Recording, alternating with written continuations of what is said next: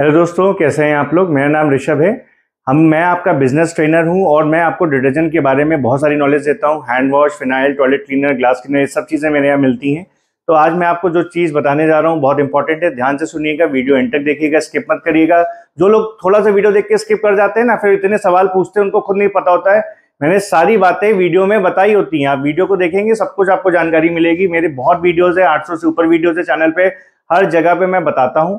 आगे बढ़ने से पहले दोस्त सब्सक्राइब कर लो चैनल को, मेरे को ना मोटिवेशन मिलता है। और यूट्यूब पे तो मैं वीडियोस पोस्ट कर ही रहा हूँ, साथ ही साथ मैं फेसबुक पे भी और हमारा इंस्टाग्राम पे भी है चैनल जाके वहाँ पे भी सब्सक्राइब कर लो, बहुत जल्दी से। वहाँ पे भी काफ़ी अपडेट्स आते हैं नए नए अपडेट्स आते हैं। वहाँ पे भी आपसे मिस ना हो जाए अपडेट्स अगर आपको मेरी बात अच्छी लगती है तो वहाँ पे भी जाके मुझे फॉलो कर लो। Hydra industries India private limited Facebook पे और इंस्टा पे भी है। तो हम लोग वीडियो को शुरू करते हैं।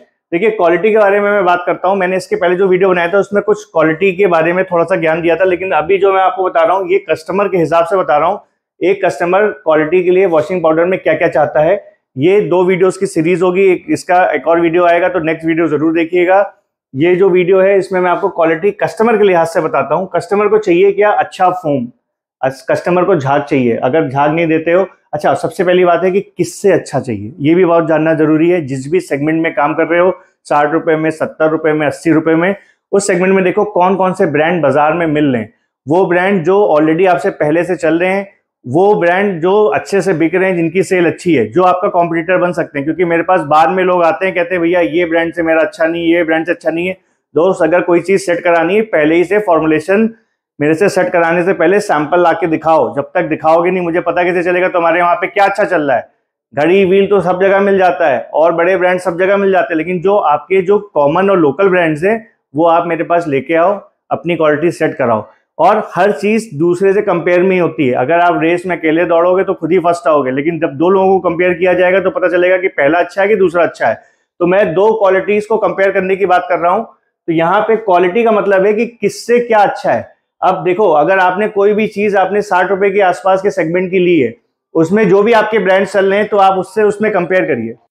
तो मैं अच्छी क्वालिटी के लिए आपसे जो बात बोल रहा था, वो ये थी कि किससे अच्छा होना चाहिए। तो दो ब्रांड को कंपेयर करो। एक जो सत्तर रुपए, साठ रुपए में जो सेगमेंट के प्रोडक्ट्स बिकते हैं, उससे उसको कंपेयर करना चाहिए आपको।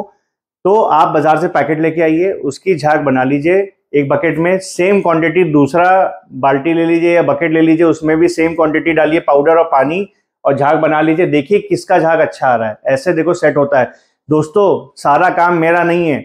सारी ज़िम्मेदारी मेरी नहीं, ज़िम्मेदारी कुछ आपकी भी है। अगर कुछ आप सक्सेस नहीं होंगे तो उसमें मेरा, देखिए, मैं आपका ट्रेनर हूँ। मैं आपको सिर्फ़ ये सिखा सकता हूँ स्कूल जाते हो स्कूल में क्या सिखाया जाता है कि कौन सी चीज़ किससे अच्छी है, क्या से मैं आपकी पढ़ाई करा सकता हूँ, आपको स्किल डेवलप करा सकता हूँ, आपको प्रोडक्ट अच्छा दे सकता हूँ।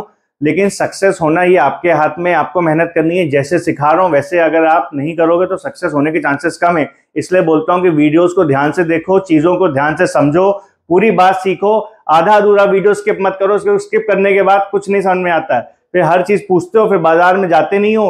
कॉन्फिडेंस खुद में गैदर करो, खुद पहले चीज़ों को 10 ब्रांड्स लाओ बाज़ार से, उसको कंपेयर करो जो क्वालिटी सेट करा रहे हो। मेरे पास भी आओ तो बाज़ार से कई ब्रांड्स लेके आओ, तभी सेट करा पाऊँगा मैं क्वालिटी हवा में नहीं सेट होती क्वालिटी क्वालिटी एक बार सेट हो गई, खुद से आपने देख लिया, बहुत बढ़िया। आप कस्टमर नहीं ले रहा तो उसको देखो कैसे लेगा। स्कीम लगाओ, कुछ भी उसमें देखो क्या उसको फ्री गिफ्ट लगाना है, क्या करना है।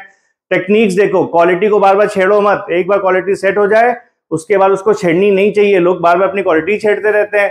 देखो क्वालिटी एक अपनी जगह है, लेकिन सेलिंग एक अपनी जगह है। जब आदमी बेच नहीं पाता तो बार बार क्वालिटी बोलता है खराब है। जब मार्केट से माल नहीं बिकता है तो आदमी आपको कैसे मना करेगा? ये बोलेगा, भैया मैं क्वालिटी खराब होगी, तभी नहीं बिक रहा है। क्वालिटी नहीं खराब है। अगर आपको पता है कि आपने चेक कर लिया है, आपने सेट करा लिया है, आप संतुष्ट हैं, अपनी आँखों से देख रहे हैं तो क्वालिटी नहीं खराब है। फिर मैं आपसे कहूँगा कंपेयर करिए, उसके बाद बाज़ार में जाइए। दस बार कंपेयर करिए। आप कंपेयर करके नहीं जा रहे हैं। आप मेरे पास आते हैं, उसके बाद माल लेके सीधा बाज़ार चले जाते हैं, फिर आप उसको नहीं बेच पाते हैं। बेचना टफ है। इसीलिए मैं कह रहा हूँ, सीखो धीरे धीरे होगा एक्सपीरियंस से होगा टाइम लगता है, एक दिन में ब्रांड नहीं बनता है तो हर चीज़ का सिस्टम है।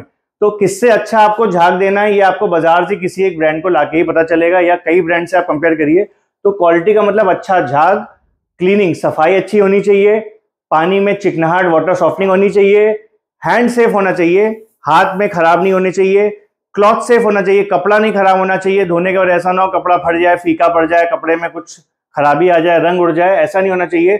कपड़ों की लाइफ भी अच्छी होनी चाहिए। अगर वॉशिंग पाउडर आप एक महीना, दो महीना यूज़ करो, ऐसा नहीं है कि दो महीने बाद कपड़े की लाइफ खराब कर रहा है आपकी। कपड़ा भी आपका अच्छा रहना चाहिए हर बार। और चिकनाहट तो मैंने जैसा आपको बताया परफ्यूम अच्छी होनी चाहिए। कॉस्ट कीमत भी कस्टमर के हिसाब से होनी चाहिए, आपके हिसाब से भी होनी चाहिए, तभी प्रॉफिट कमा पाओगे मेरे भाइयों। और खूबसूरती, जब सब कुछ बन जाए पाउडर देखने में खूबसूरत होना चाहिए। तो ये सारी बातें हैं। जो मैं कई बार अपने वीडियोस के थ्रू आप लोगों को अलग अलग वीडियोस में बता चुका हूँ। सबसे पहले बेचना एक बहुत बड़ा मुद्दा है। बेचने पे फोकस करोगे, फिर मैं बनाने पे भी वीडियोस बनाऊँगा। और मैंने कई वीडियोस बनाए हैं। फॉर्मुलेशंस डेली सेट होते हैं मेरे यहाँ पे।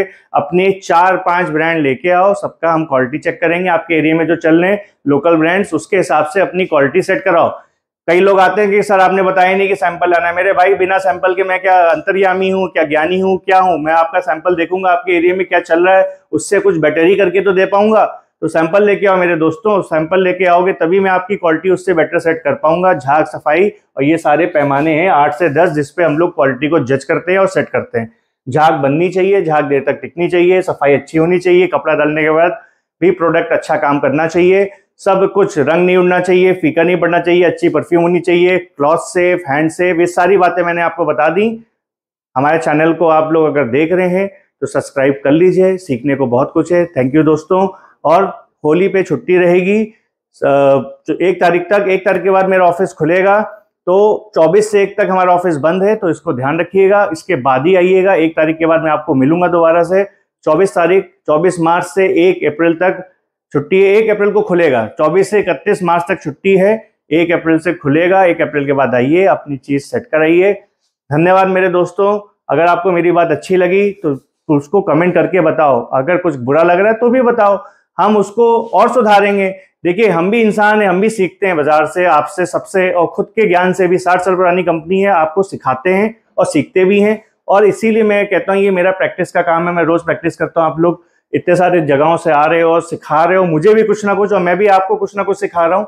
तो ये मैं आपके साथ आपके ऊपर छोड़ता हूँ। अगर आपको ब्रांड बनाना है, आपको अच्छी क्वालिटी चाहिए तो मेरे यहाँ पे आके आप करवा सकते हैं।